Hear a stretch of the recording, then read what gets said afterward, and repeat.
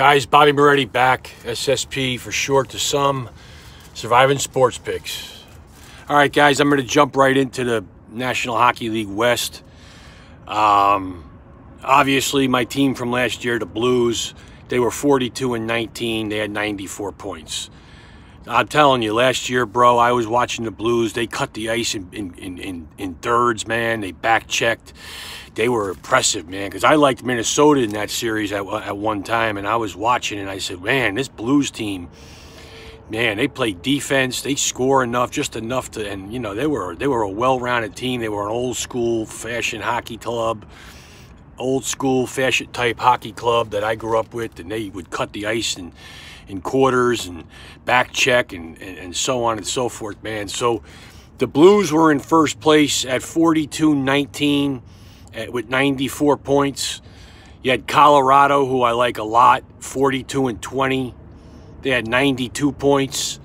Uh, Dallas, 37, 24, 82 points. Tough team, man, Dallas. I like Dallas. Uh, then you had Vegas, 39 and 24, 86 points. You had Edmonton, 37, 25, 85 points. Might have fell short, had it this year. A couple of young studs.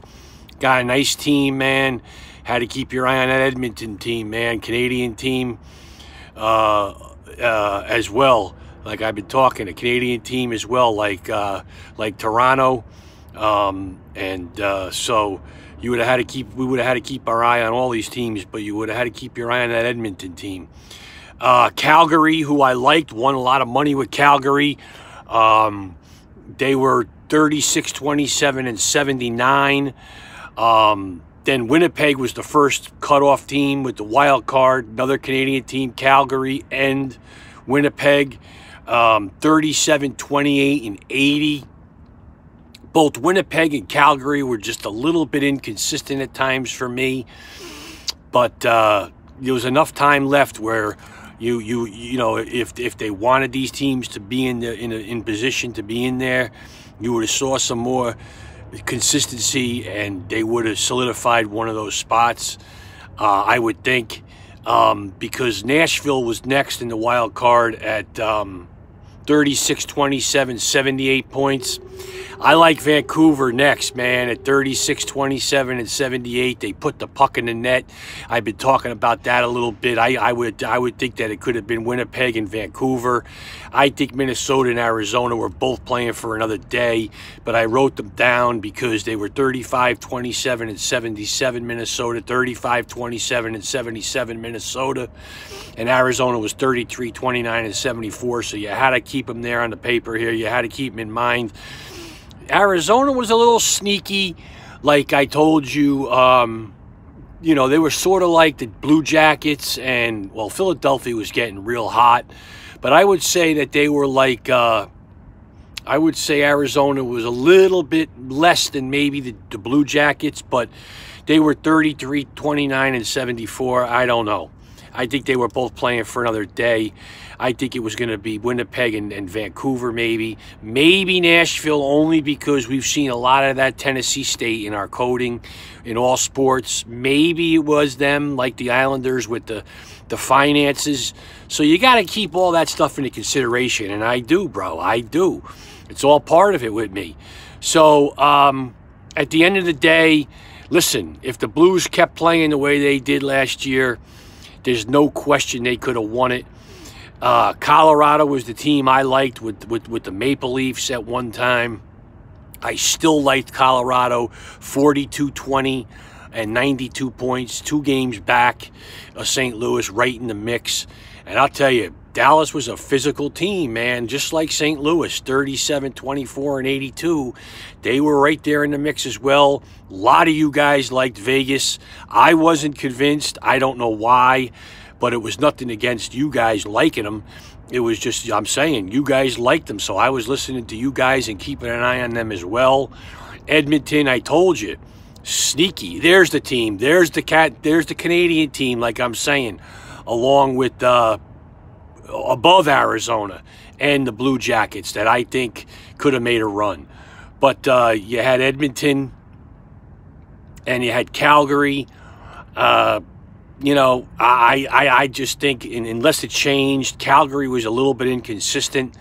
So were the Canucks, but the Canucks seemed to be a little more consistent, if that makes sense. And if they came on with what was time was left, they could have been a real good team in the mix. There's no question about it. I would think I would have liked them more so if Calgary and Winnipeg, with the time left, didn't become more more consistent, but still slid in.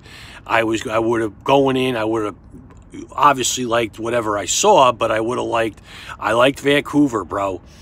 So at the end of the day, who would it have been? I liked uh, obviously Colorado and St. Louis. Um, you know, if they wanted that Dallas team from down south to be in it, they could have been in the mix. Vegas, you guys liked. Edmonton, I think Calgary might have fell short. I would have had to watch a little bit more on them. Winnipeg, I was going with because they were a Canadian team. Calgary as well, but I don't. I just I think I liked Vancouver a little better than Calgary and Winnipeg. Having to wait and see, but they put the puck in the net, Vancouver, and that's what I liked. Um, so at the end of the day, if I had to pick a team, not knowing how it was going to play, which is tough. Again, I'm not going to sit here and say I could pick it because none of us can, I don't think. I would say it was going to be St. Louis, Colorado. I would say I would have went with Colorado with, with, with, it going black. I would have said I would I would have taken a risk with Colorado, but you got to wait right? You had to wait. I don't mean to repeat myself, but you had to. I mean, it would have been, it might have been obvious that it was St. Louis. It might have been a hands down no brainer. It could have been a repeat, right? Or lost in the finals, whatever they wanted. And I liked Vancouver. So, so saying it again, having to wait and see on everybody, the Calgarys, the Winnipegs, everybody, I would have said that I would have liked Colorado, St. Louis, and Vancouver. So if I had to pick a final, not knowing how it played out, I would have said Colorado and Tampa. That would have been the way I saw it. Uh, I would have I would have picked them as of right now. That would have been my two teams, unless they had St. Louis in there again, and uh, you know, uh, you know maybe my Toronto heart slid in, and I was right from way back, and uh, that's really all. That's all in the East, really. I think it was one of those three teams: Boston, Tampa Bay, Toronto, Washington, maybe Philadelphia. Yeah, I mean, you know, and uh, and I don't know. There was something about that Florida team, but I don't know. I, will go with I'll go with uh, it going black, and I'll say it was going to be Tampa and Colorado. So that's it, guys. That's the hockey. Um, obviously, you guys all know and you newcomers too. I'm throwing this out at everybody. If anybody has any ideas what I could continue to do without being able to go live, knowing I need to be able to go live with what I want to do with my channel going forward, with the three different categories that I want to do, you know, BML land and everything. I'm not going to name it all. Everglades, everything, high, low forest, uh, national forest, the homeless. I mean, but the homeless is important to me. But um, yeah, and, and, and live from the casinos and and the horse track. Um, if, if everybody thinks that, that that that Facebook could become a place that I, but I can't bring. I gotta I gotta. Oh yeah, I can go live with Facebook. I can go live with Facebook in, in at all those places. So if you guys think it's Facebook and we could all get on there with notifications and and everything that they have to offer, then Facebook is cool with me. If you guys think it's got to continue to be YouTube, give me, tell me that. Tell me that. Say, Moretti, we got to get those thousand. We gotta, we gotta do that. Um, if anybody has a computer, I mean, I, I probably now that I'm thinking of it, I probably don't even need the computer. I mean, I mean, I guess I could use the computer until times. Well, no, because games will be on, and that's what we want. So it's the phone, man. I got to use the iPhone. I got to use the iPad and the iPhone. I think because I got to take it out on the street. You know what I mean? So, but if anybody's got any ideas, like I said, I talked to Don about a week ago or so now. Time's flying, and he has some great ideas. I respect Don. He's a he's a he's a um, political science major. He's got some ideas. Um, so just reach out to me, man. Stay in touch, guys. I miss you all.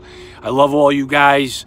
Reach out to me. Say, Moretti, you got to try this. You got to think of this. You got to do this. You might want to do that. I'm all, I'm all ears, man. Just like your guys decodes and everything. I read everything, man. I respect you guys, you know, and so it works both ways. Help me out, man. Throw some shit at me. I'll I'll I'll, deflect I'll I'll deflect it with the waffle, the goaltender, like you know, not deflect it, but I'll be I'll be in net, man. I'm gonna be taking on everything you you give me and, and, and siphoning, man.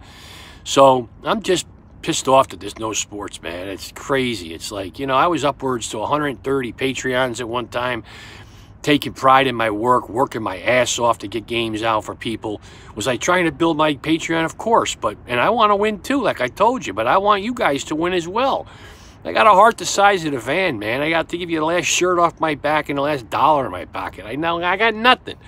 Never had any, well, I'm not going to say I ain't been blessed and I haven't had anything, but you know what I mean. I don't come from big money and I never had big money. So, you know, uh, I'm I don't need big money. I'm a simplistic minimalist, man. You know what I mean? And I have fun doing what I'm doing. I have fun with you guys. I have fun with everybody capping games, man. I love to cap games. And I'm trying to do something here with my with, with my overall Patreon and my channel and my clothing lines coming. I'm talking to my buddy Bruce Kennedy. He's a Queens guy. He's been in the printing business his whole line. I'm not going to go crazy like I told you, but I'm going to have some stuff up there that that might be that I could maybe push and people want to support my channel. I got the descriptions below. If anybody's new here, anybody that I've known wants to take it takes a liking and an interest in some of the things I'm doing with the with the filming of beautiful parts of our country and or the homeless you know, and you want to support my channel and throw me a tip here and there or support the channel or throw the tip towards, say, hey, Moretti, you know, I've been winning a little bit. Here's a little bit. Let's put it towards towards the homeless thing or or whatever. I'm going to document everything. I'll show everybody exactly where everything goes. I'm not I'm not begging. So, you know, it is what it is. I'm getting old, bro. I'm getting old. I'm 56. I'm getting gray by the day. I got a bad back. I got arthritis. I'm trying to build something. I, I gotta have. I gotta have. I gotta. I want. I need a little cash flow uh, as I get older. But I'm going to earn that cash flow, man. And if there's new people here that want to take a look at me uh, and get to know me, we got the Discord. You could talk to the guys. There's um, people on. I'm on Instagram at Surviving Sports Pick. Twitter is is surviving low case minus surviving low case minus. That's the best way I know how to describe it. Surviving low case minus picks and I give out some free picks, man. I, I throw back, man. I give back. I, I, was I was giving out a couple free picks. I'll continue to do that. And the other perk I'm going to do is I'm going to go live on uh on Patreon. You guys got to that's that's one thing I've been trying to figure it out, guys. I'm not the best technical guy in the world. I'm delving into it. I can go live on, but you got to use a second or third party. You got to use is it is it Cowgill and Vimeo?